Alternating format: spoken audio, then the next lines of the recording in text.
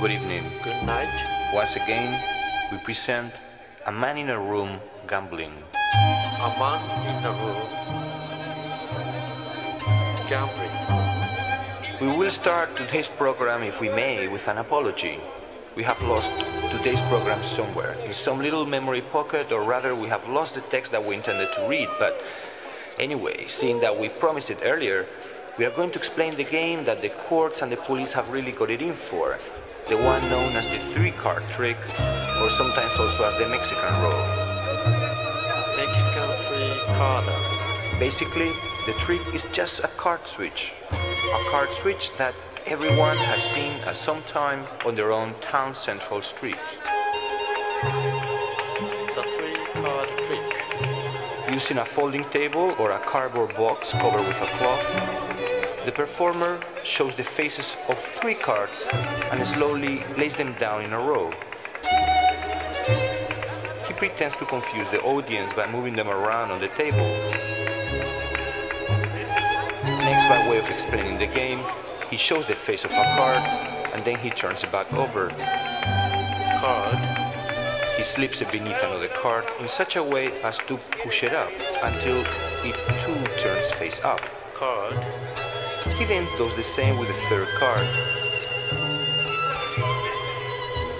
We wouldn't advise you to bet because your chances of losing are 100%. Thank you very much. In the normal three card trick that we explained last week, if the spectator bets without looking at the cards or at any of the action, the loss of probability would be 2 to 1 against him and 2 to 1 in favor of the trickster. Professional. He could conceivably break the bank, Thank you very much. but in this version the ace is never the card you point to, because the trickster on the other side of the table switches the card of his choice for the one you choose, and then switches that for the third card. Card. when all he seems to be doing is turning them over.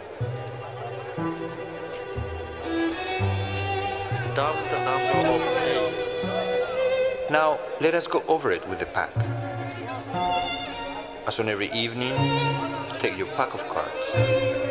Today, you don't need to shuffle because we are only going to use three cards. Three card trick. Remember that one of them must be an ace.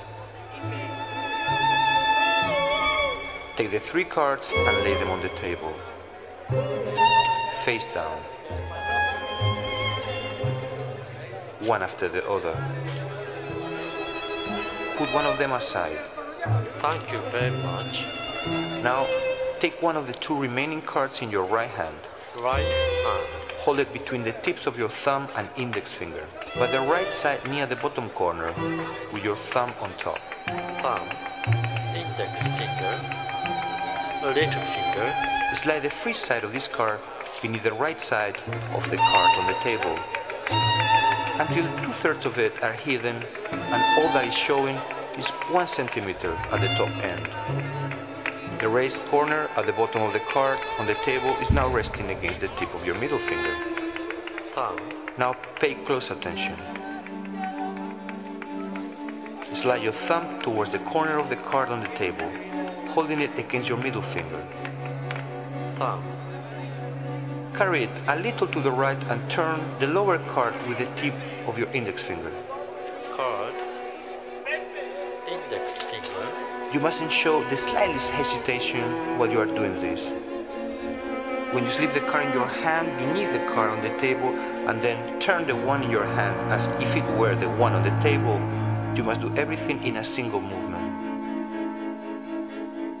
Now, slide the card on the table Card. under the third card Card. and perform the same switch. Three card trick. The important thing is that you should not have any hesitation, any indecision.